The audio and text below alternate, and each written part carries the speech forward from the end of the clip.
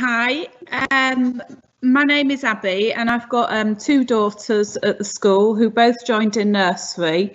Um, one is currently age nine and in year four and the other is six and she's in year one.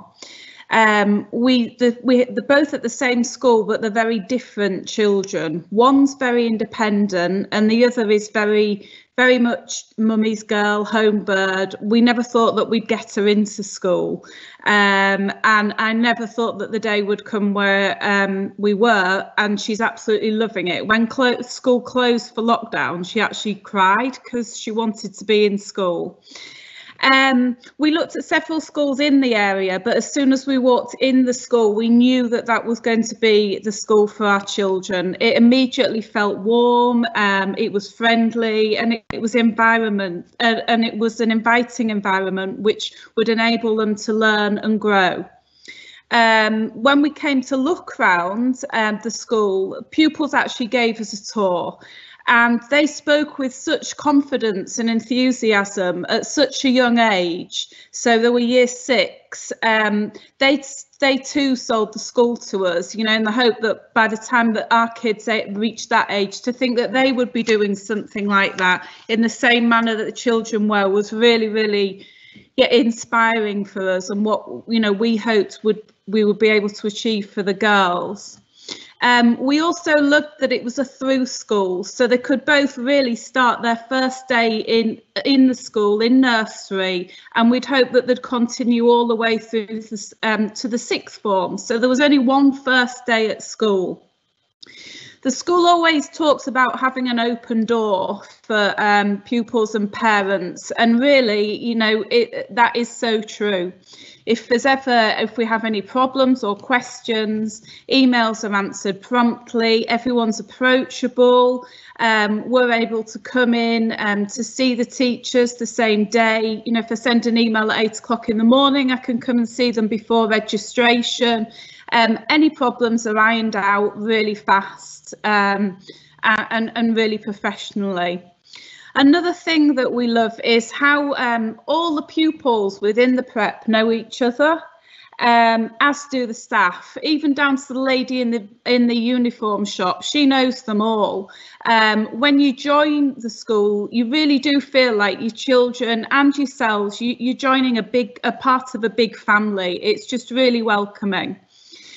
Um, I've had so many friends at different schools, and as the girls have been growing up, saying, as the girls have been going into the next year, well, how's she doing? Yeah, yeah, really well. How's she settling in in reception? Great. Well, wait till she gets till year one, because that's when the work really starts, and then you'll see a massive difference. So, and the same with year two to three, it's a big jump. You know, I hope she's ready for it we've never had we've never noticed or, or, or had any struggles with any of these transitions. Um, and i'm sure that that's just down to the school's preparation both behind the scenes and for how they prefer the chil prepare the children. They've just kind of sailed through it's just been natural progression for them. Even then um, going down into the transition of lockdown again um, that just seemed smooth, smooth and seamless. The children were informed on the right level, um, and as parents, we were left well informed as well. I think going into it, it took us a week or so for us to find our routine, and probably most would say that it was different for everyone teachers, pupils, and parents. I never expected to be a teacher, and I never will be, but we're, we're managing. Um, but now we've got our routine, we have a clear st structure to the day and we know what to expect and when. We've found the work set to be really good, really good quality and the way um, to access the work and to send it in is really user friendly. Um, for myself and my nine year old daughter is able to do it all herself. Um, during lockdown, we really don't feel that their education has suffered at all. Um, the school have made made sure of this. The, the learning has continued. They've covered all aspects of learning, even down to um, allocating specific reading level books online. Um, daily live registrations have made sure as well that we've all still felt part of the school community and the children have kept in touch with all the class and all the year groups. Registration in this house for both girls is always full of smiles and giggles and they both really look forward to anything that's provided in a live provision. The eldest, who's nine in year four, she works independently for most of the day. So she'll go up to her bedroom where she's got her laptop set up and she'll come down for lunch and it, we might get to see her for a couple of questions, but more or less she's happy um, to just work on her own and she likes it like that. She won't have any noise, otherwise there's no work to be done. She can't be disturbed. She struggled a couple of times, obviously, as I'm sure they all have. We've tried to help her, but our way of teaching just wasn't able to get through to her. Um, we've emailed the teacher and immediately, you know, within 10, 15 minutes, they've been back to us and they've offered some help and we've been able to jump on one-to-one on Teams and they've been able to talk through it. So we haven't even necessarily, there are daily live clinics for maths and English, but if she's been working in the morning on a subject when the clinic wasn't till the afternoon, the teachers have happily helped her um, so that she can get on and complete that task we've had consistent feedback on the work, which is really encouraging, and the kids both thrive on this. And the feedback as well, one thing that I like, it's always aimed at the children. So it's always an open um, conversation to be had, asking them how they found the task, and they enjoy replying um, and speaking to the, the teachers that way as well.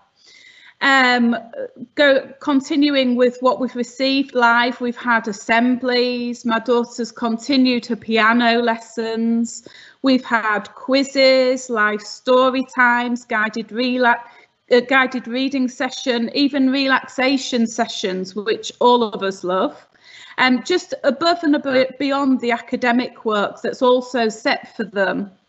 I found this. Um, the highlight of our uh, and evidence of how far the school have gone, though, really, was for my daughter's birthday, which was in lockdown in June and in May, sorry. And there were a couple of other class um, friends who happened to have a birthday on the same weekend.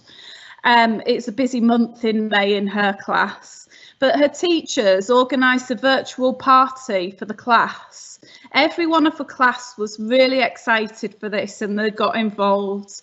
Each one of them put decorations up, they made decorations, they made cake, and it was actually quite emotional to watch this on Teams. There were party games, there was dancing, there were quizzes, it gave them something to look forward to all week and it was a real morale boost for them all actually and if you were to ask Imogen she's actually just on a lesson at the moment but the party is her favourite highlight of lockdown so far and it was just really amazing the amount of effort that the teachers had gone to for the birthdays so hopefully that's given you some insight into life at this lovely school. Um, we're really happy here, but above all, the girls are happy, they're thriving and they're learning, and we really cannot recommend it enough to you. Thank you.